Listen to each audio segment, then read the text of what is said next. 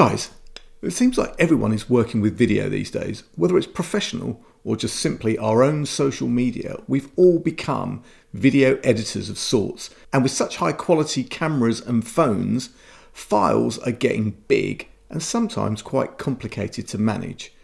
Working with different types of video files and formats can sometimes be a bit of a challenge, but I'm going to show you some cool software that is going to help you to manage your videos with the greatest of ease, and it's coming right up.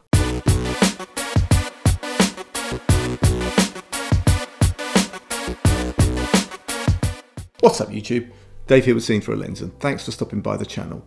We make lifestyle videos and all things tech, so if that's your kind of thing, then please consider subscribing to the channel and clicking on that bell icon so you can be notified of new videos. So guys, today I want to show you the VideoProc Converter. This cool video software lets you convert not only any types of video format, but it also gives you the ability to edit your videos. So that sounds a little bit geeky, right? But I mean, why would you want to convert your video files to another format? Well, I can tell you now, geeky it isn't. In fact, quite the contrary.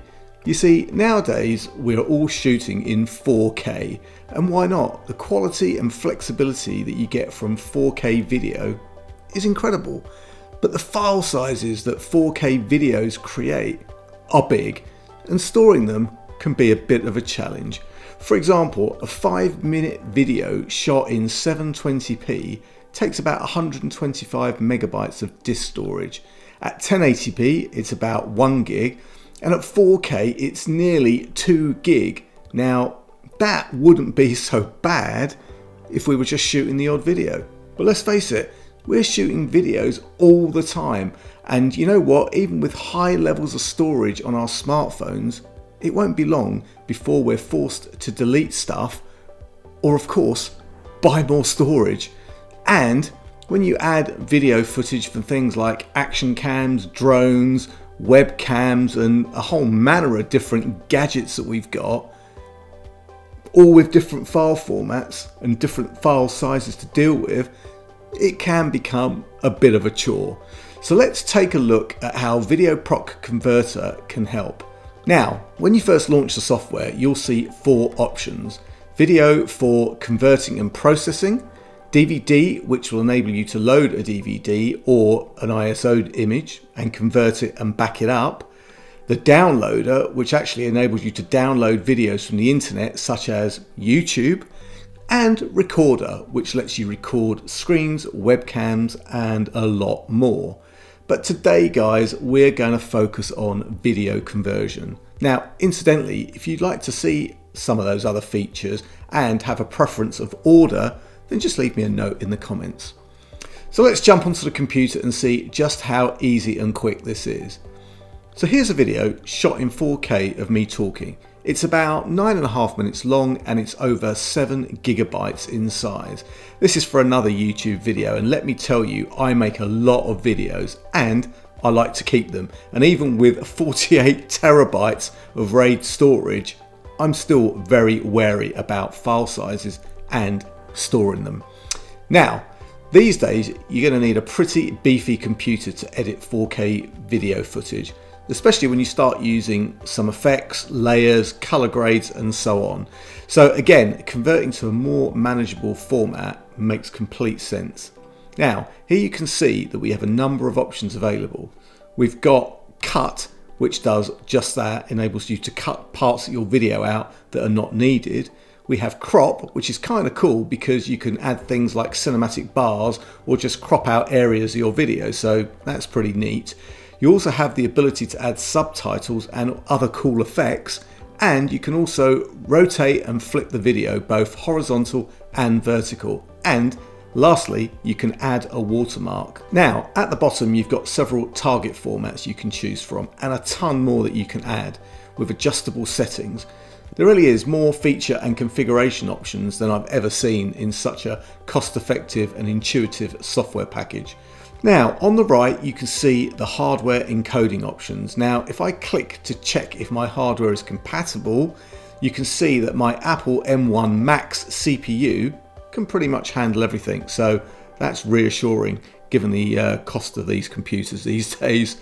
Oh, and if you want to see those formats by file type, format, device type, or whatever, you can. In fact, there are over 300 different formats that you can convert to and from, including audio. And lastly, you've got a toolbox for other editing goodies. So, before we do this conversion, let's click on the options just to see what settings are loaded. Now, even taking the defaults, check out my target file size after the conversion. It's down to just over a gig, so that is seven times smaller than the original file. And here, you can customize all of those settings, including codecs, frame rates, resolution, bit rates, and even audio codecs. But unless you are a bit of an expert in this field, I suggest just leaving the defaults to see what you get. Now, let's click on convert and see what we get and how fast we get it. So guys, in 2 minutes and 40 seconds, we have our new video file. So let's take a look at the size. Now, VideoProc Converter comes as a paid for annual subscription or a lifetime purchase and you can select a single computer or a family license. So really, really good value for money. Now, something like this with so many features and so cheap is absolutely amazing. And as well as those options, there is also a free version which limits you to an output of five minutes of video, and that is what I'm currently using.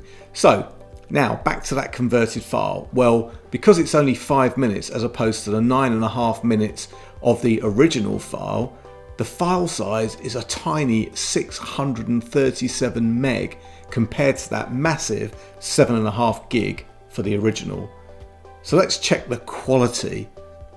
Well, there you can see it. It's pretty much amazing. I mean, I can't really tell any difference. I mean, you know, if I had to pick out something, I would say my video on the right, which is my converted video, has slightly better colour. It looks sharper and slightly more saturated. So yeah, how can that even be possible? So my video that was shot in 4K, compressed to a fraction of the original, with no loss in quality and actually better colour saturation, that is quite amazing. And taking a look at the pricing again, you can see that even the most popular lifetime package will pay you back in no time if you had to equate that cost of either online or offline storage as to the amount of storage you actually need by shrinking and compressing your files down with no quality loss. I am dumbstruck. Now, for a bit of an extra test, because to be honest, like I said, I'm so damn impressed by this software, let's try converting to HEVC. Now, this seems to have engaged the Intel CPU, which of course with Apple's own silicon, we don't actually have an Intel CPU, but okay. But we've also got the CPU um, button lit up. So let's run it, see what we get. Now you can see that the conversion is 40 seconds faster and wow, the file is six times smaller than previously converted at only 151 meg and the quality, well as you can see between the two converted files, there is absolutely no distinguishable quality difference. Guys, this is an absolute no-brainer. So guys, that's just about it for this one. I've got to say, I'm pretty blown away with this software and we've only seen a fraction of its capabilities.